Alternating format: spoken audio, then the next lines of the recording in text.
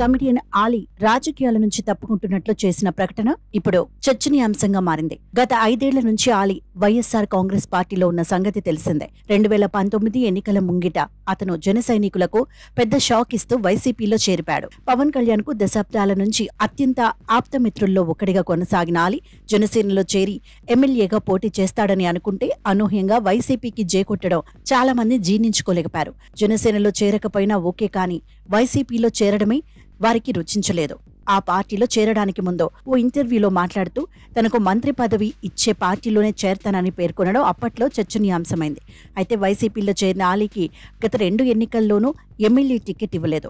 వేరే చెప్పుకోదగ్గ పదవి ఇవ్వలేదు. రెండు వేల ఇరవై నాలుగు ఎన్నికలకు ఏడాది ముందు ఎలక్ట్రానిక్ మీడియా సలహాదారు పేరుతో ఏదో మొక్కుబడిగా ఓ పదవి ఇచ్చాడు జగన్. దాంతో ఆలీ ఏం బావుకున్నాడన్నది ఆయనకే తెలియాలి. ఇక ఏడాది పదవి అనుభవించి ఇప్పుడు వైసీపీ ఎన్నికల్లో చిత్తుగా ఓడిపోగానే ఆ పార్టీకే కాక రాజకీయాలకు టాటా చెప్పేశాడు.